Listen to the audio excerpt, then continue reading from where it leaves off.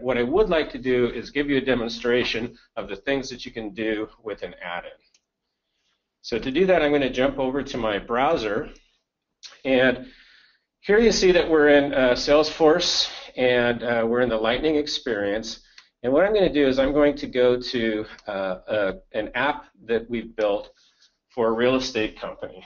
And this particular app is composed of four different Lightning components. The first Lightning component is the header at the top, and then we've got a search box, um, a slider component that allows us to filter down our list, and then this list of um, properties indicating um, customers that have liked certain properties so we know which ones are most popular. So those are four components, the house list, uh, and then the other two above it. When I click into one of these, for instance, now, what I'm going to see is the detail page for that house, right? And what I want to point out is over on the right-hand side, we've got another Lightning component called Activities. And so this is a custom component just like the ones that we saw previously.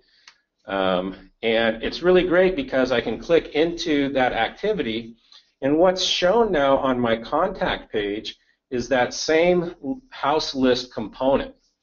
The only difference is that now, because it's in a different context, the list is limited only to those houses that are liked by this contact.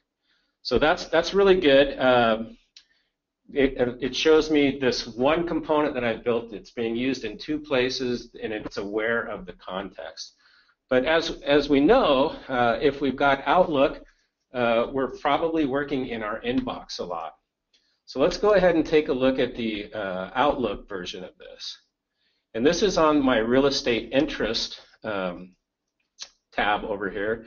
And what you see now is that activity lightning component running inside of Outlook. It's the exact same component that we saw on the contact detail page or on the property listing page, except now it's limited only to the activities for this contact. Likewise, I can see the houses that uh, that same house list, again, limited to the context of this particular individual. So I'm going to click into another one just to show you how this uh, works. So this has a little longer activity list, and then uh, the the house list in this case is um, got four houses in it. And you can see that because it's built with Lightning, meant to be responsive, we get a little bit of responsive UI out of it as well. So this is an example of taking some energy and effort that we've done in building an app inside of Salesforce, not necessarily a Sales Cloud, not necessarily Service Cloud, but a custom application and bringing that directly into the workflow of the individual within Outlook, which I think is uh, pretty cool. Yeah, Dave, this is a I think a really great example of kind of being able to reuse some of that the the web things that you've already spent time and, and put together. Uh, we found a lot of times that uh, a lot of web developers might already have pages in one of their websites that that could easily be maybe re-leveraged in one of these add-ins, and it's just a matter of again framing those the right way and then and then hooking those in to maybe something so that they are contextual. In your case, it's contextual around who that that mail is from. So looking that up and then um, again maybe doing a query against Salesforce to display that information. So super powerful scenario and, and shows you you know how you can easily you know re-leverage this uh, work that your developers have maybe maybe have already done. Yeah, absolutely. And and one thing, um, you know, I mentioned the the similarity between SLDS and Office. Uh, this particular component is styled using SLDS. It looks right at home inside of the Office UI.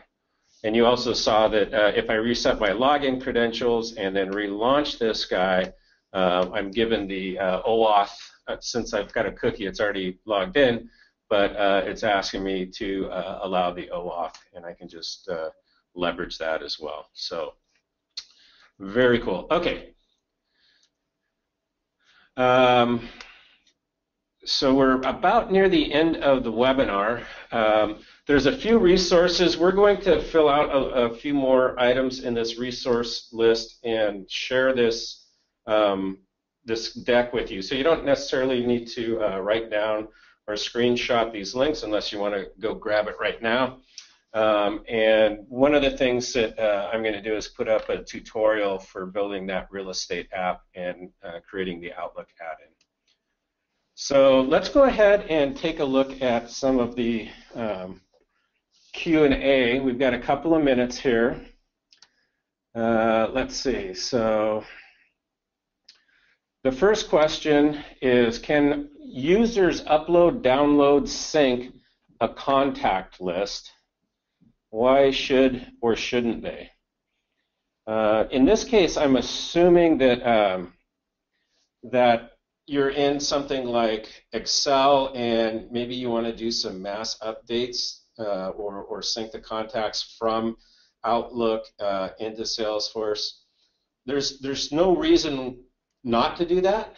Um, I think that uh, generally syncing once you've got an add-in that allows you to kind of add new contacts as they come into your inbox um, the the need for syncing isn't that high but there's other data if you think about other types of data as an admin of salesforce one of the most popular add-ins um, ever was something called the excel connector uh, i think it stopped getting updated around version 10 of the API, and we're at version 35 today.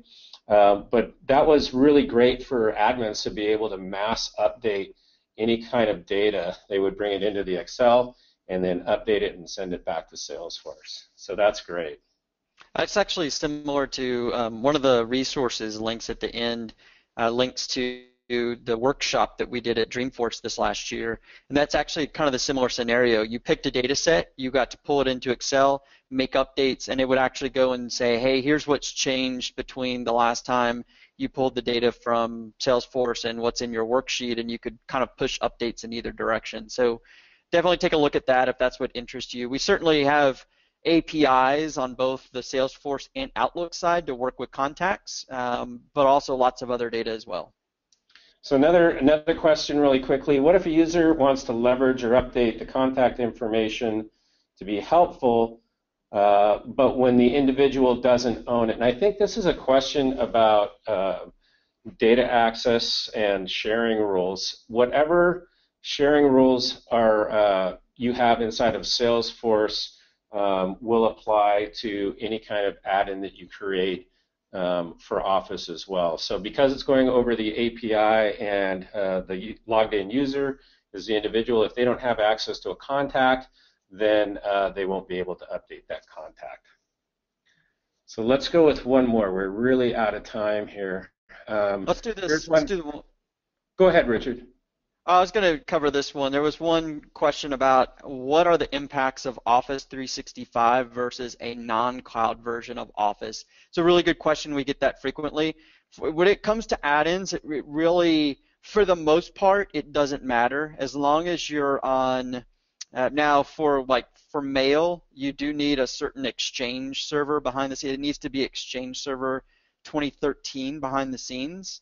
Um, and then you do need Office 2013. But as long as you're on 2013 or newer, um, anything, it works both on premises or the cloud version. It really doesn't matter. Um, there might be some services that work a little bit differently, but for the most part, 2013 is the, the baseline to be at. So um, we're over time. Um, I promised everyone at the beginning that we would um, address all of these questions and then publish them uh, at a later time. Give us about a week to come up with um, correct and definitive answers for all these, and then um, come check back at the landing page for the webinar. Richard, thank you so much for uh, for helping us with this webinar and uh, bringing the magic of integrating with Office uh, to the community. Thanks for having me. Thanks everyone for joining, and uh, we'll see you next time. Thank you.